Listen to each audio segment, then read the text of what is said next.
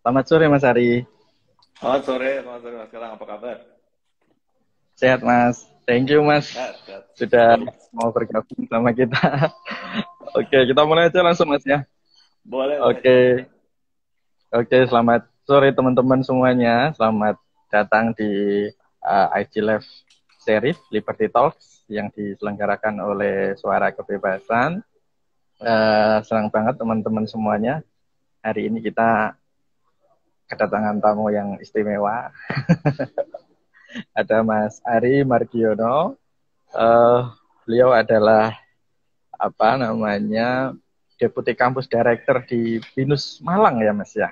Iya betul. Uh, oh berarti sekarang di Malang atau di mana ini Mas? Sekarang di Malang ini. Sekarang di Malang. Ah, uh, oh, oke. Okay. Wah saya saya dulu di Malang juga Mas tinggal di Jalan Ikan Paus. oh. Oke oke oke. Saya juga baru banget. di Malang baru beberapa bulan ini karena kita baru mulai full di sininya uh, Oh. beberapa bulan ini. Ya, makanya kan kadang-kadang kalau ke Malang setiap naik kereta itu pasti ada tulisan binus itu di sebelah kanan atau kiri. Eh, Jadi teman-teman semuanya nih Mas, eh, hari ini kita mau ngajak teman-teman semua nih Mas untuk diskusi banyak khususnya tentang eh, isu kebebasan nih Mas. Eh, dalam acara kita yaitu ada Liberty Talk IG Live Series. Eh, senang banget ternyata Mas Ari bisa untuk meluangkan waktu bareng kita nih teman-teman semuanya dan hari ini kita akan diskusi tentang tema yang sangat menarik sekali yaitu adalah uh, consumer apa choice yaitu adalah isu yang sebetulnya penting nih dalam ekonomi gitu uh, dan termasuk menjadi salah satu isu sentral dalam aspek-aspek kebebasan nih teman-teman semuanya.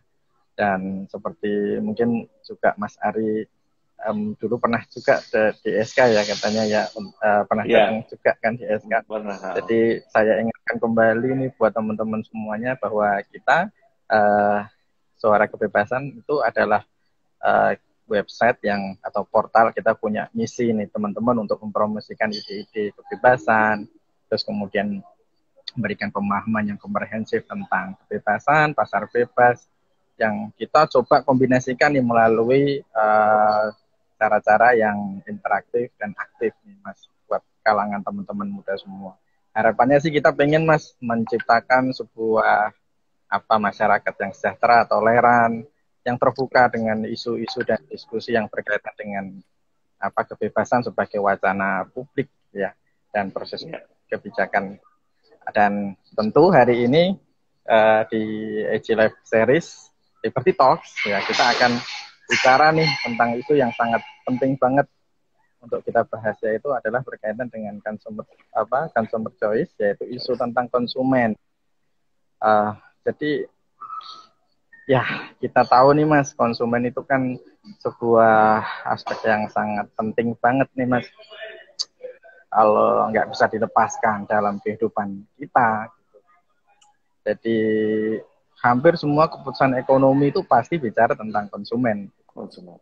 dan tapi juga kita kalau ngobrol tentang eh, consumer choice juga kita nggak bisa meli apa ya mengesampingkan gitu loh mas bahwasanya kadang di negara kita ataupun situasi di tengah-tengah kita itu kebijakan sering kali tidak memberikan kesempatan-kesempatan seperti itu kepada konsumen. Konsumen sering kali diposisikan eh, apa ya eh, orang nomor dua, elemen nomor dua gitu dibandingkan eh, penyedia jasa atau layanan atau produk.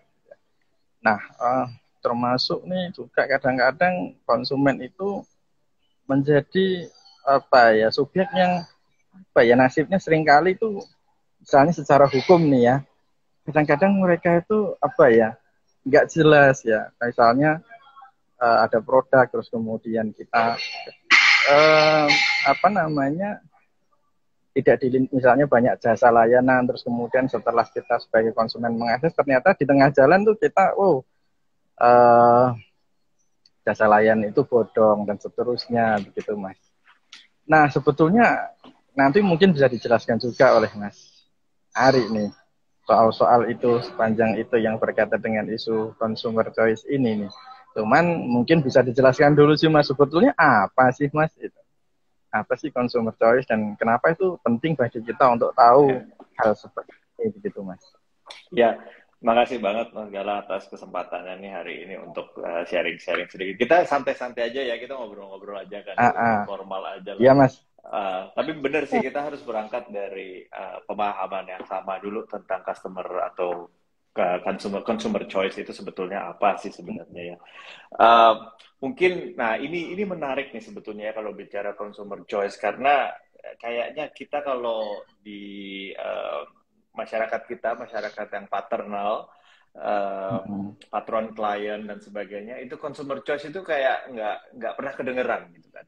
Jadi uh, sering kali kita uh, melihat konsumen itu sebagai yang butuh uh, produk dan services yang ditawarkan pengusaha. Selalu seperti itu kan kita ngelihatnya. Karena mungkin di belakangnya ada aspek paternal ini, aspek patron klien ini, dan ini sesuatu yang yang cukup cukup apa ya cukup uh, uh, masif di di Indonesia di budaya timur lah itu itu masalah patron klien paternalistik ini jadi sesuatu yang masif. Jadi jadi pengusaha, jadi pebisnis itu juga sering kali mikirnya uh, konsumen yang butuh kita, bukan bukan kita yang butuh konsumen gitu sering kali seperti itu. Jadi wacana wacana uh, consumer choice ini jadi jadi baru dan jadi apa ya jadi uh, uh, uh, sesuatu yang uh, asing yang yang nggak nggak biasa didengar juga oleh oleh pengusaha atau oleh uh, pebisnis di uh, tanah air atau mungkin di um, policy maker uh, di Indonesia. Jadi uh, bahkan untuk konsumennya sendiri konsumen juga sering kali juga tidak paham haknya tidak hmm. paham apa yang menjadi menjadi uh, uh, perannya dan role-nya di dalam ekonomi sebetulnya seperti itu hmm. sering kali mereka menjadikan dirinya sebagai objek uh, uh, bukan subjek dan segala macam uh, menariknya juga belakangan banyak yang kagetan juga begitu tahu bahwa konsumen itu sebetulnya punya posisi tawar yang tinggi ini malah jadi menyalahgunakan dan abusing power itu. Jadi seakan-akan uh, apa namanya uh, uh, fairness tidak dijaga fairness tidak dibangun tapi seakan-akan jadi uh, apa uh, konsumen adalah segalanya dan terus kemudian bisa melakukan apa saja yang mereka inginkan gitu. Nah, um, jadi berangkat dari dari uh, pemahaman um, uh, paternalistik di Indonesia, paternalistik di uh, Asia ini, uh, konsumen ini sering kali uh, hilang dan tidak ada di dalam equation Uh, kalau kita bicara produsen dan konsumen seperti itu. Um, oleh karena itu, uh, memahami consumer uh, choice ini, kita harus melihat uh, lebih besar lagi, uh, melihat dari aspek, uh, aspek yang universal, jadi aspek yang non paternal, di mana uh, konsumen ini merupakan uh, salah satu bagian penting dari proses ekonomi. Itu yang pertama harus kita hmm.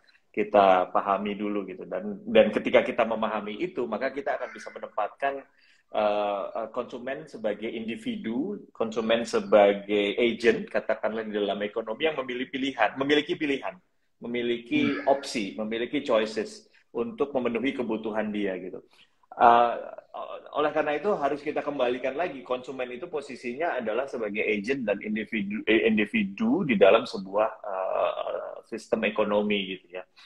Um, ada banyak teori ada banyak yang uh, perspektif yang uh, uh, apa bisa mengelaborasi mengenai posisi uh, konsumen seperti ini. Tapi saya ingin meng-highlight satu hal yang uh, uh, menarik sebetulnya, uh, um, yaitu uh, uh, aspek teknologi yang membuka mata masyarakat yang paternal tadi. Gitu. Jadi masyarakat yang patron klien dan yang paternal tadi uh, yang tidak pernah melihat peran konsumen sebagai bagian penting dari ekonomi, tapi lebih menjadi objek dari sebuah sebuah proses bisnis atau proses ekonomi. Uh, dengan adanya teknologi, dengan adanya um, teknologi digital, teknologi uh, yang uh, berada di seputar industri 4.0 ini jadi apa namanya? jadi terbuka matanya, jadi jadi sadar, tersadar bahwa mereka punya opsi dan mereka punya pilihan. Dan policy maker termasuk pebisnis juga mulai mulai sadar bahwa bahwa uh, konsumen itu memiliki opsi, memiliki choices, memiliki pilihan untuk um, apa namanya uh, memenuhi kebutuhannya dan memenuhi um, uh, keseharian aktivitas-aktivitas kesehariannya katakanlah seperti itu. Uh, teknologi ini uh, mendemokratisasi proses proses uh, transaksi bisnis katakanlah seperti itu. Atau proses transaksi di pasar katakanlah seperti itu ya. Um, asymmetrical uh, information asymmetrical uh, processes yang selama ini disalahgunakan dalam tanda kutip oleh uh, mereka yang melihat struktur secara paternal dan melihat struktur secara paternal klien ini itu terkoreksi dengan adanya teknologi. Katakanlah seperti itu. Jadi jadi dengan dengan kata lain um, uh, perkembangan teknologi ini uh, memberikan kesempatan untuk uh, masyarakat konsumen bisa lebih bebas menentukan pilihannya. Kira-kira mungkin seperti itu dulu mungkin. Wah ini ternyata menarik juga sih mas. Um, ya memang di satu sisi kita bicara tentang tadi yang disampaikan oleh Mas Adi ya, maksudnya gimana soal uh, apa namanya uh, konsumen yang sebetulnya uh, punya peran yang sangat penting banget nih Mas, karena memang kadang-kadang nih mohon maaf ini sering kali konsumen itu menjadi pos positioningnya juga eh, ya sudahlah kita ini ya kalau udah keliru beli atau misalnya kita beli online ya Terima ya sudah ya. gitu ya. Ini terima. Sekarang Pak, kalau saya saya ini yang contohnya saya kemarin beli sepatu ternyata ukurannya itu eh, biasanya mungkin saya ukuran 42 gitu Mas. Ya ternyata ukuran sepatu ini ternyata yang selama ini saya gunakan tuh nggak sama dengan model sepatu yang satu brand ini gitu Mas. Ternyata dia tuh uang. Saya kontak apakah bisa ditukar langsung siap saya ini gitu jadi wow itu betul-betul saya juga mengalami sendiri ya mas ya gimana sebagai konsumen tentu saya itu senang banget mas diberikan uh, apa uang sekarang itu dengan era digital saja saya punya pilihan untuk banyak bisa mencari sepatu dengan model bermacam-macam yeah. saja nih mas. Nah, apalagi sekarang untuk yang layanan misalnya retro bisa diretun misalnya kayak gitu ya. Terus Uh, tapi sebetulnya kondisi ini tuh kalau boleh tahu nih Mas, apakah memang sebetulnya ya memang secara ekonomi memang terbentuk ya secara pasar atau memang kalau di dalam konteks Indonesia misalnya apakah karena kita didorong oleh regulasi gitu. Sampai sejauh mana sih Mas sebetulnya regulasi di Indonesia tentang konsumen ya itu mendorong eh, bisa mendorong sih situasi-situasi seperti ini yang tadi apa uh, konsumen itu bisa mendapatkan pilihan-pilihan yang baik begitu. Kalau bicara Indonesia, Mas.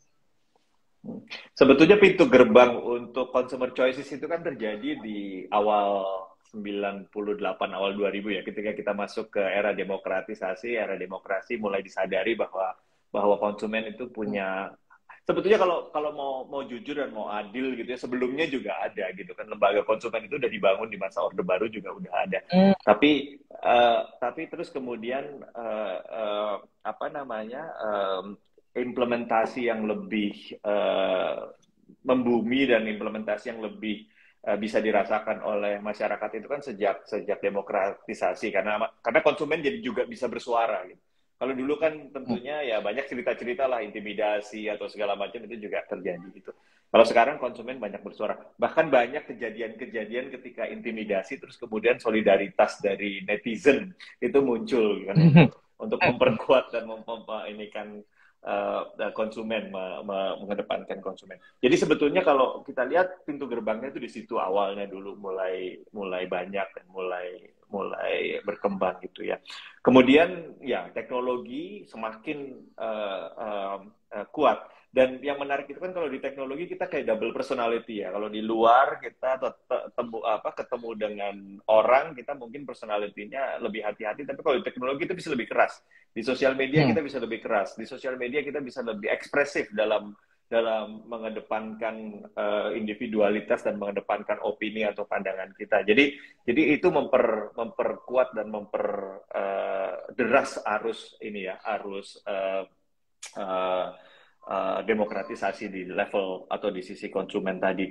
Nah uh, kalau uh, uh, kita lihat di teman-teman uh, uh, aktivis uh, konsumen ya di uh, lembaga perlindungan konsumen atau hal-hal yang uh, serupa dengan dengan aktivitas yang dilakukan oleh teman-teman di sana, uh, kita bisa melihat ada progres, ada ada ada peningkatan katakanlah dari masa-masa sebelum uh, reformasi uh, hingga sekarang perlindungan konsumen itu semakin semakin meningkat. Tapi kalau dibandingkan dengan apa yang ada di negara-negara barat misalnya uh, masih banyak yang uh, masih banyak yang uh, perlu diperbaiki dan perlu ditingkatkan. Hmm. Hal sederhana seperti misalnya uh, pengembalian barang ketika kita belanja gitu ya. Um, uh, di Indonesia katakanlah mungkin 15 tahun lalu belum ada itu model seperti itu ya. Kita masih susah kalau mengembalikan gitu. Masih bahkan di nota itu seingat saya itu selalu ditulis barang yang sudah dibeli tidak dapat kembalikan dan dikembalikan.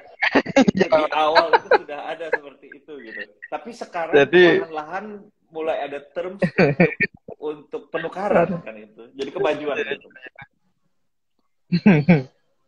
Bahkan secara online pun kita bisa difasilitasi bisa. untuk itu kan, Mas? Betul. Hampir sekarang, semua sekarang kalau kita lihat hampir semua apa namanya uh, apa namanya uh, marketplace itu ada opsi ada. itu loh, Mas. Ya. Ada. Misalnya berbagai macam apa ya macam-macam marketplace itu ada opsi. Jadi kalau misalnya pembelian barang ada jangka waktu satu minggu atau 30 hari macam-macam itu, Mas. Iya, iya. Benar, itu benar, proses benar. proses demokratisasi yang terus bergulir kalau menurut saya dan diperkuat dengan adanya teknologi tadi semakin memberikan kesempatan untuk untuk uh, apa namanya konsumen uh, memiliki pilihan dan dan perlahan-lahan hilang itu tulisan barang yang sudah dibeli tidak dapat ditukar atau dikembalikan, tapi diganti dengan terms untuk bagaimana uh, kita bisa menukar. Tentunya uh, uh, aspek yang harus dikedepankan di sini fairness ya, bagaimana supaya fair juga. Kita tidak bisa juga beli uh, apa namanya beli barang kita pakai terus kita labelnya nggak dipak nggak dicopot terus kita kembalikan kita tukar dan segala macam kita refund. Itu juga nggak fair kalau seperti itu buat bisnis. Bisa bangkrut semua bisnisnya nanti jadi jangan. Jadi jadi ini ada aspek fairness juga di dalam penukarannya. Makanya saya lihat semakin ke sini semakin banyak terms dan semakin banyak uh, kriteria untuk untuk penukaran. Tapi yang penting prinsipnya itu tidak dilanggar. Prinsip consumer choicesnya itu tidak dilanggar. Bahwa konsumen punya pilihan untuk berpikir kembali atau konsumen untuk pilih punya pilihan untuk uh, apa namanya um, uh, second second thought untuk berpikir bahwa oh ini barang ternyata ini barang yang tidak saya butuhkan pada saat ini sehingga saya harus kembalikan dan harus ini. Tentunya ada syarat ada ketentuan dan segala macam yang bisa dilengkapi di situ.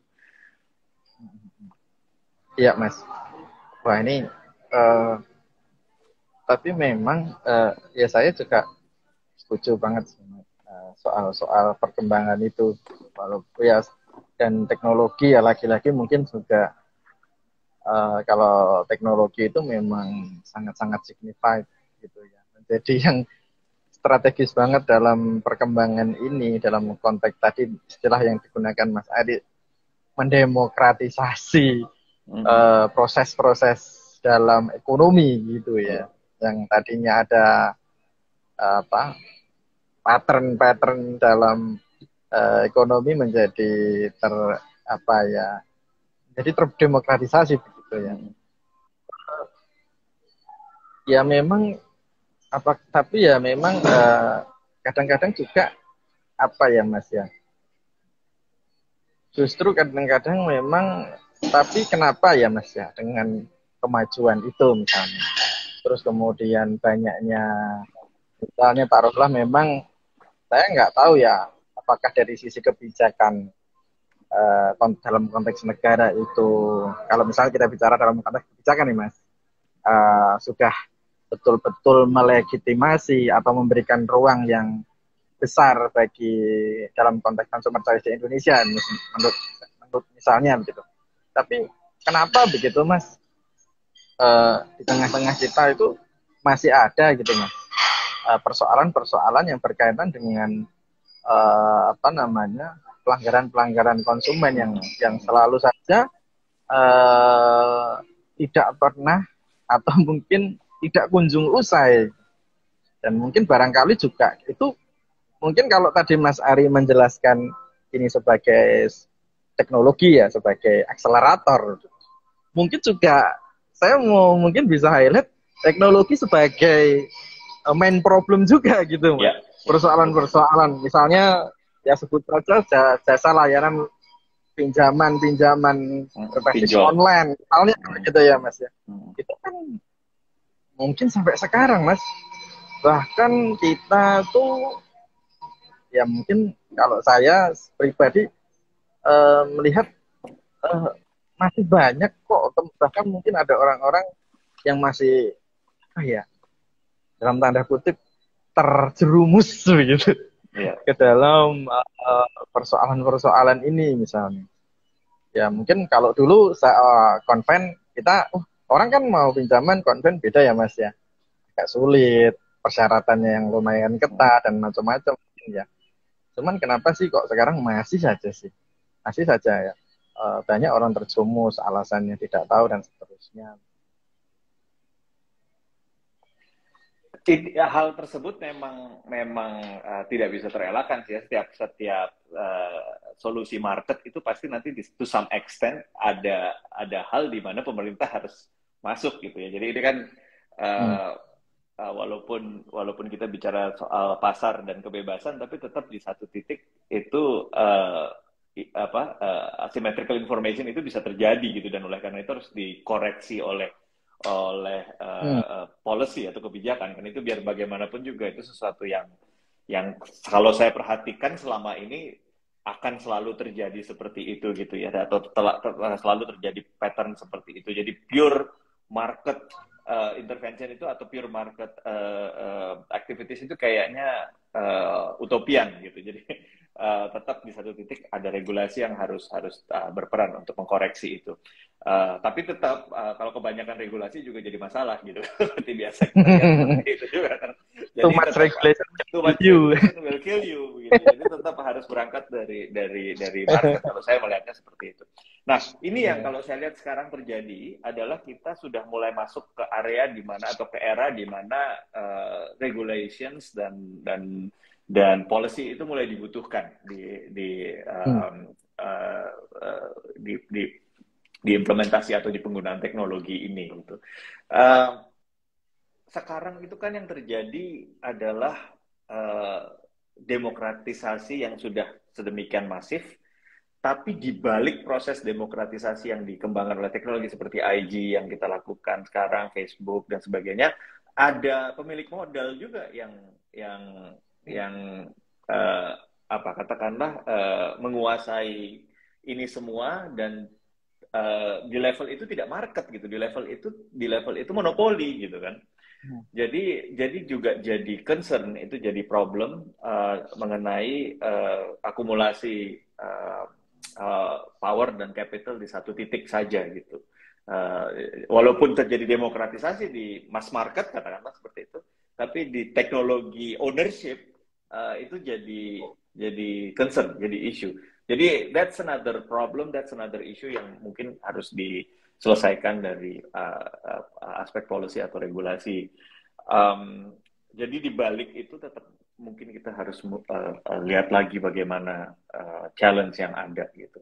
Um, nah, ini kalau menurut saya di sinilah terus kemudian peran peran uh, pemerintah policy untuk uh, mulai memikirkan uh, bagaimana uh, kita bisa ensure fairness dan ensure uh, apa namanya uh, um, transaksi yang secara uh, uh, baik kita katakanlah seperti itu di um, konteks yang ada sekarang.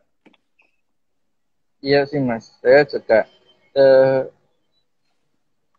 kalau melihat tadi misalnya yang dijelaskan oleh uh, ada apa ya uh, apa ya level monopoli di titik-titik tertentu ya mungkin ya bahasa hmm. itu apakah misalnya kadang-kadang uh, monopoli itu mengakibatkan apa ya jenis apa namanya akhirnya mau nggak mau konsumen itu juga nggak bisa nggak bisa meng, apa di mengakses yang namanya consumer choice mas. Ya, ya. Even produknya berbeda sekalipun ya mas ya. Maksud ya, saya ya oh, gimana ya tapi ya. saya kira masih bisa memahami ada Betul, kayak beberapa mis- misalnya misalnya sekarang ini kita kita menggunakan platform IG dan Facebook, katakanlah seperti itu. Hmm, Walaupun hmm. itu seakan-akan choices, ada Facebook, ada. IG, ada sekarang, tapi choicesnya pilihannya semu. Karena di di bundling dan diikat di dalam satu ekosistem yang yang dimiliki oleh uh, Mark Zuckerberg saja, misalnya seperti itu. iya Jadi uh, sama juga dengan Apple misalnya, ada banyak pilihan segala macam, tapi semu gitu, itu adalah satu pilihan di dalam sebuah ekosistem. Uh, seakan-akan kita punya pilihan, tapi sebenarnya sebenarnya kita tidak punya pilihan. Sebenarnya kita di dalam sebuah ekosistem yang yang semu gitu. Jadi jadi itu yang jadi masalah kalau bicara teknologi sekarang dan di situlah sebetulnya peran pemerintah. Di Amerika itu kan mulai banyak gitu ya gerakan atau dorongan untuk untuk apa namanya um, uh, membatasi atau untuk uh, melihat uh, sejauh mana ini bisa bisa memfasilitasi proses uh, uh, market based transaction atau justru malah sebetulnya ini uh, menafikan itu dan membuat membuat um, uh, uh, oli, apa uh, oligopoli dan monopoli jenis baru di uh, di teknologi. Hmm. Tapi harusnya pasar bisa terkoreksi nggak mas ya kayak gitu mas. Artinya dengan kompetisi. Iya. Sekarang kan suka kayak Iya. misalnya Twitter. Eh, lo Twitter udah dibeli. Tar- Itu Taruhlah dibeli, Twitter. Tapi kan at least eh, ini saya, saya saya pernah ngikuti isu ini mas. Kelihatannya dulu malah mungkin ini di Amerika sampai di Kongres ya kelihatannya ini. Betul, Rame ada di banget bawah isu betul. ini sampai ber, apa namanya bertahun-tahun itu Eh, kalau nggak salah ya iya benar-benar saya ikuti ini eh, Marx juga dipanggil jadi hampir kelihatan tuh di lini masa pemberitaan-pemberitaan soal itu ya bahkan kelihatannya sampai ada undang-undang terkait dengan anti monopoli kalau nggak salah Anti monopoli. Dan- betul. ini regulasi yang sama kelihatannya mau juga di apa namanya eh di apa ya di apa namanya dilakukan oleh Jepang deh kalau nggak salah ya Jepang Hmm, itu hmm, juga hmm. di undang-undang anti monopoli juga mas